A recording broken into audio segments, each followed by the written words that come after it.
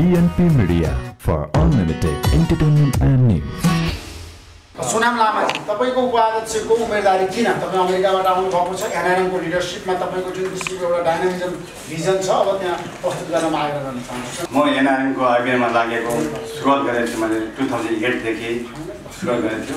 Two thousand नाइनदेखि दुई वर्ष म चाहिँ आइसिसी मेम्बरमा थिएँ। त्यहाँबाट सेकेन्ड फेरि दुई टर्ममा आइसिसी मेम्बरमा म आएको थियो त्यहाँबाट चाहिँ फेरि पछि मैले अमेरिका क्षेत्रको चाहिँ डिआरसी मैले टु थाउजन्ड फिफ्टिनसम्म मैले काम गरेको छु।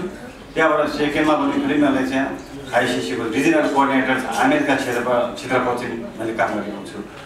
अहिले म एनआरएमको लागि के छ भन्दाखेरि मेरो किन भाइस प्रेसिडेन्टमा चाहिँ घोषणा गर्नुभयो भन्ने कुरा भयो भने म एनआरएमलाई चाहिँ एकता बनाउनेको लागि र एनआरएमको चाहिँ जुन यहाँ चाहिँ कामहरू चाहिँ धेरै कामहरू भइरहेको छ यसको लागि चाहिँ एउटा हाम्रो चाहिँ एनआरएमको चाहिँ भिजन ट्वेन्टी ट्वेन्टी भिजन भन्ने एउटा अमेरिका क्षेत्रबाट चाहिँ नाइन रिजनलबाट घोषणा पत्र भएको थियो। एउटा त्यसलाई पारित सम्पूर्ण गर्नलाई एउटा मेरो चाहिँ मेरो एजेन्डा त्यो थियो।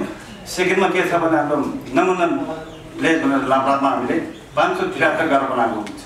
त्यो गएको भने अब हामीले चाहिँ करिब करिब त्यो सिकाउनु त्यो सबै कम्प्लिट गर्नलाई दुई वर्षभित्र लाग्छ होला। कति मान्छे सिकाउनलाई त्यसको लागि पनि त्यसको कामको लागि पनि मैले जिम्मा लिएको थिएँ। मैले उपाध्यक्षमा। अहिले त्यसपछि के छ भन्दाखेरि हाम्रो एनआरएम बिल्डिङ एयरपोर्ट यस्तो राम्रो लोकेसन बलवटारमा चाहिँ प्राइम मिनिस्टरको छेउमै बनाउँदैछ त्यो एनआरएम बिल्डिङ हाम्रो चाहिँ अहिले चाहिँ सतहत्तर कन्ट्रीमा चाहिँ हाम्रो संस्था छ यति ठुलो संस्था हो। त्यसको लागि हेडक्वार्टर जस्तै हामीले एउटा नमुना हेडक्वार्टर जस्तो बनाउनु छ यो युएन जस्तोको लागि।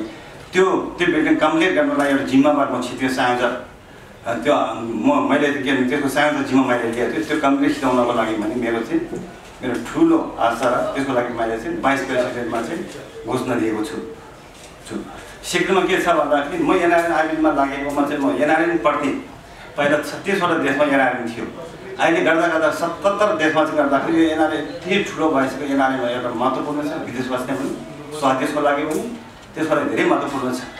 स्वदेशको लागि के छ भन्दाखेरि हामीले जुन दुःख पर्दाखेरि हार क्विट बनाउँ नाकाबन्दी होस् एउटा चाहिँ भूकम्प अस्ति भर्खरै फ्लड भिक्टम हुँदाखेरि हामी कस कहिले पनि हामी एनआरले पछाडि परेको छ त्यसप्रति हामीले जहिले पनि हाम्रो जन्मभूमितिर हामी माया गरेर आएको छौँ त्यसकोमा हामीले एनआरएनको चाहिँ ग्लोबल एनआरएनलाई हामी कहिले पछाडि परेको छैन।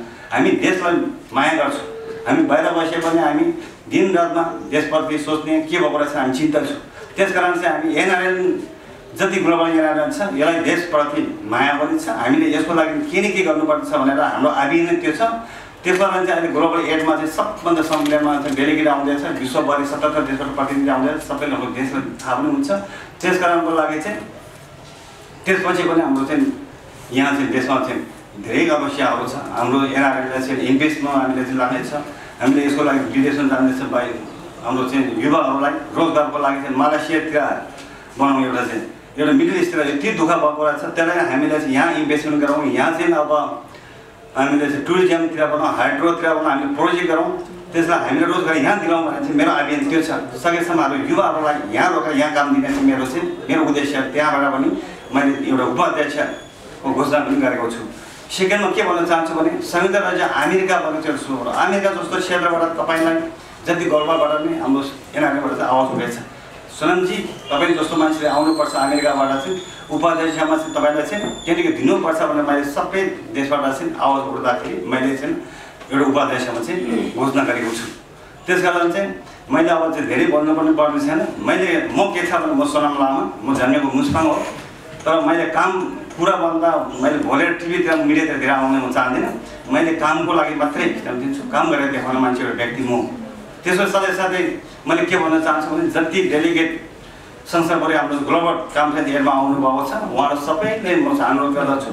त्यस कारण चाहिँ सोनाम लामालाई चाहिँ यसपालि दुई वर्षको मौका दिएर मलाई चाहिँ बहुमतबाट चाहिँ भोट दिएर मलाई चाहिँ जिताउनु हुन्छ भनेर म आशा पनि छु त्यस कारण मैले त्यो दिन जितिसकेर मैले एउटा जिम्मा दुई वर्षमा चाहिँ एनआरएनलाई चाहिँ एकता व्यक्त बनाएर लानेछु भनेर मैले चाहिँ आज यति भन्दै मिडिया दाजुभाइहरू सबैलाई पनि थ्याङ्क यू भन्दै हाम्रो ऋषिजीलाई चाहिँ स्पेसल रिपोर्टर कलामा मैले आज चाहिँ यस्तो इन्टरभ्यू दिन पाउँदाखेरि एकदम थ्याङ्क यू भन्न मन चाहन्छु। थ्याङ्क यू धन्यवाद।